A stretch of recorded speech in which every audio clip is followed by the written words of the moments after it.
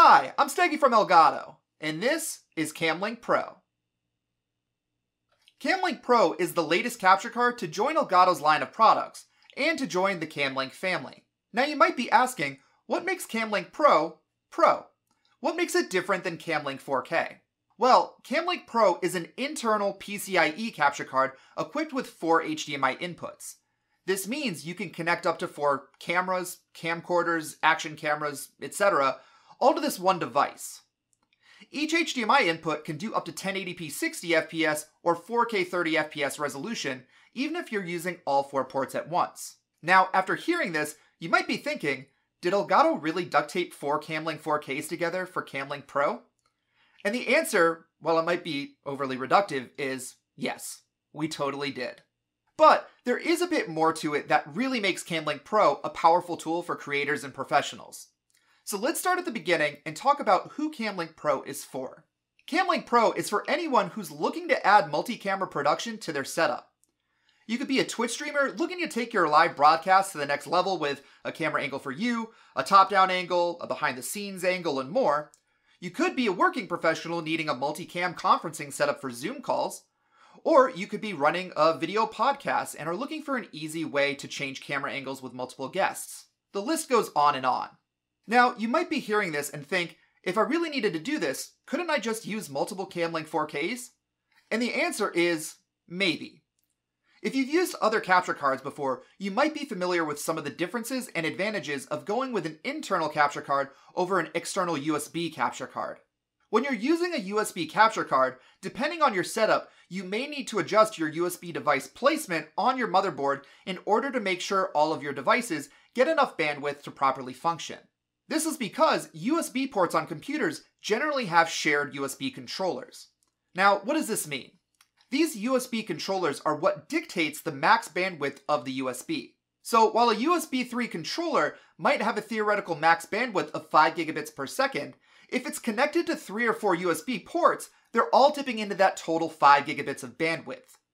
And if you have devices plugged in that collectively exceed the bandwidth of that controller, this is where you run into issues. You might have experienced this before, where if you have a ton of USB devices plugged into your computer, sometimes you might have a webcam with stuttering video, or maybe one of your devices just isn't showing up in your device manager. It's because it's either not getting enough power or bandwidth to properly perform.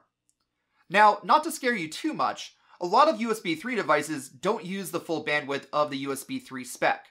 However, things like webcams and capture cards like Camlink is are high bandwidth devices that are also real time performance devices. So, with these devices especially, you want to make sure they're on different controllers so you don't run into these issues. So, with the rule of thumb in mind of one high bandwidth device per USB controller, most setups you can use at least one or two capture cards, webcams, or cam links and be perfectly fine.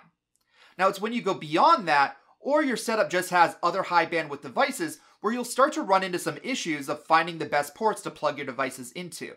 And this is where internal capture cards are so convenient because they have access to plug in directly to your motherboard via PCIe lanes, which have a ton more bandwidth than USB.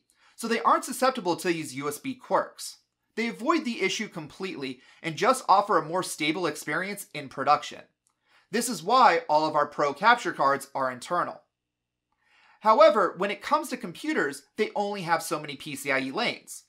But because of PCIe's high bandwidth, you're able to send more data to your motherboard through one port than what you could send through a USB cable. So this is where Camlink Pro comes into play. Through its PCIe X4 connection, it's able to send up to four feeds of 1080p 60 or 4K 30 video to your computer through one PCIe lane. So if you're using multiple cameras, they can all just connect to a single Camlink Pro resting inside your computer versus connecting to four single USB capture cards where you could run into these bandwidth limitation issues.